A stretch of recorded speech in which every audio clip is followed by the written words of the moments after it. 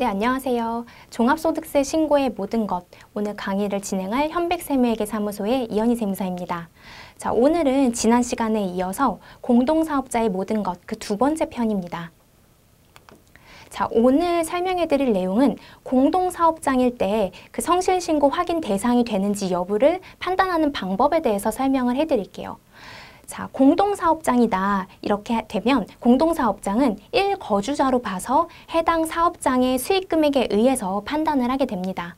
그리고 요즘에는 이제 사업장을 여러 개 운영하시는 대표님들이 많으세요. 그래서 이런 경우에는 어, 공동사업장이 두 개 이상이다, 여러 개다라고 하면 그 공동사업장의 그 공동사업장의 구성원을 보셔야 됩니다. 그래서 구성원이 동일하다면 합산한다고 생각하시면 되고요. 구성원이 다르다 하면 각각의 공동사업장의 수익금액 기준으로 성실신고 확인 대상인지 여부를 판단을 하시면 됩니다. 자, 그러면 공동사업장을 운영하다가 단독 사업장으로 변경된 경우에 대해서 알아볼게요. 자, 공동사업장은 변경일의 전날에 폐업한 것으로 봐서 소득금액을 계산하시면 됩니다. 그리고 폐업 당시에 재고자산의 시가 상당액을 수익금액에 합산해서 그 성실신고 확인 대상인지 여부를 판단을 하시면 되고요. 그리고 단독사업장은 공동사업장과 별개로 해당 사업장의 수익금액에 의해서 판단을 합니다. 자, 그럼 정리를 하면 어떻게 되는 거죠? 공동이었다가 단독으로 변경을 하든 단독 사업장에서 공동 사업장으로 변경을 하든 단독과 공동은 섞이는 게 아니고 각각 별개로 성실신고 확인 대상 여부를 판단한다는 점이죠. 자, 그러면 이렇게 판단을 했더니 이 공동사업장이 성실신고 확인 대상 사업장이 됐어요. 이렇게 된다면 단독 사업장일 때와 마찬가지로 그 대표 공동 사업자가 성실신고 확인서를 제출을 하면 됩니다. 그러면 그 공동 사업장의 구성원들도 6월 말까지 소득세 신고 납부를 할 수 있어요. 그리고 이 공동사업장도 단독사업장처럼 성실신고 확인 비용 세액 공제가 당연히 가능하겠죠.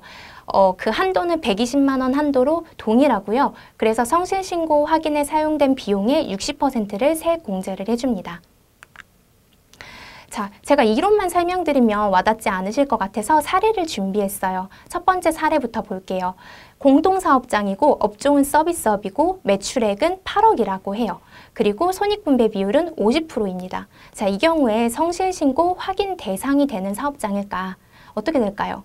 자, 서비스업이죠. 서비스업의 성실신고 확인 대상이 되는 매출액은 얼마죠? 네, 5억이죠. 자, 5억이고 19년이라고 가정을 하면 자, 20년이라고 가정을 해서 우리가 개정세법이 반영이 됐다고 하면 3억 5천이죠. 이 기준 금액을 넘었기 때문에 성실신고 확인 대상 사업장이 됩니다. 자, 두 번째 예는 두 개의 사업장이 혼재되어 있는 경우예요. 공동사업장 A와 B가 있는데 자, A는 부동산 임대업 8억이고 공동사업자는 갑과 을이라고 하고요. 공동사업장 B가 있는데 B는 제조업을 하고 있고 수익금액은 4억. 공동사업자는 갑과 병이라고 가정을 할게요. 자, 그럼 여기 공동사업자 갑이 공통으로 있죠? 이 갑이 두 개를 하고 있는 거예요. 어, 우리가 성실신고 확인 대상이 되는 공동사업장인지 판단을 할 때에는 뭘 봐야 되죠?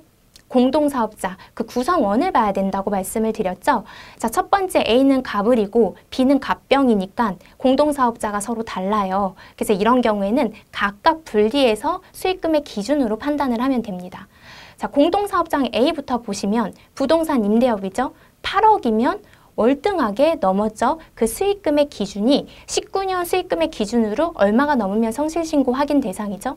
5억이죠. 5억을 넘었고 개정이 된 세법을 반영한다 하더라도 3억 5천을 넘었기 때문에 A는 공동사업장 확정이 아, 성실신고 확인 대상이 되는 공동사업장으로 확정이 되는 거고 자 B를 보시면 제조업이에요. 4억이죠.